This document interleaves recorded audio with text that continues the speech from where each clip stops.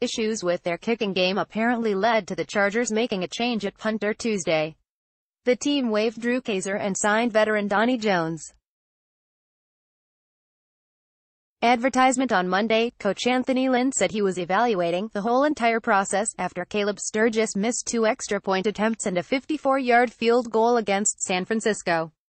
Along with what Sturgis has done, Lynn indicated the performances of Kaser, the holder on kicks, and long snapper Mike Windt were being assessed.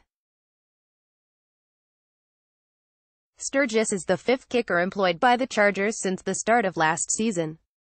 All these kickers can't be bad, Lynn said. The latest evaluation evidently identified Kaser's holds as the problem, the same issue having been brought up internally last season as the Chargers struggled to find consistency among their kickers.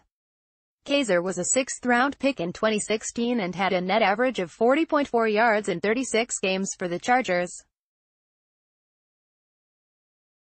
He had only one of 146 punts blocked, but that one resulted in a touchdown for the Rams on Sept. 23. Lynn blamed the block on Kaser holding the ball too long. Jones, 38, won the Super Bowl with Philadelphia last season, his 14th in the NFL.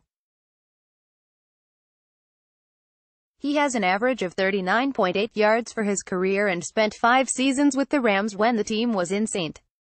Louis.